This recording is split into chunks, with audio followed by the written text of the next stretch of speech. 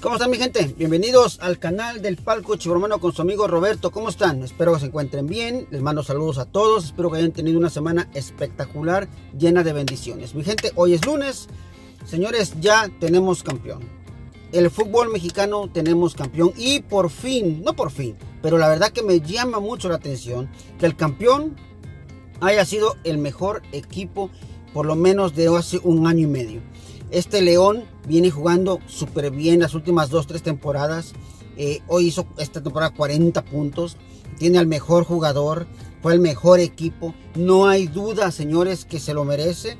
El León es campeón. Por fin Nacho Ambriz levanta un trofeo, un campeonato. Por fin la ciudad de León, que se lo merecía, son campeones y tienen que celebrar. Mi gente, la verdad que no fue una final espectacular porque no lo fue. Por fin Ambriz aprendió a jugar una final. Las finales no se juegan espectaculares. Las finales no se juegan a lo atrabancado. Las finales, señores, se juegan con inteligencia.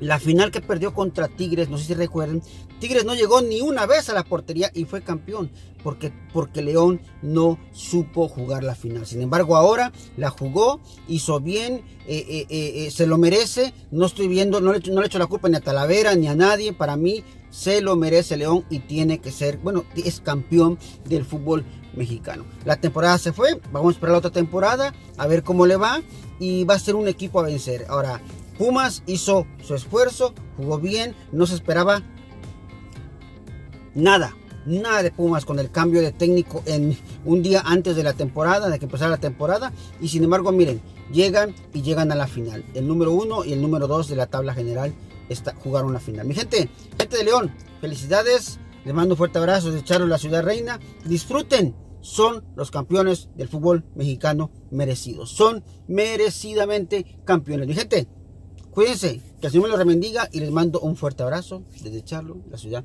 reina. Compartan el video, denle like, por favor, con sus amigos. Bendiciones.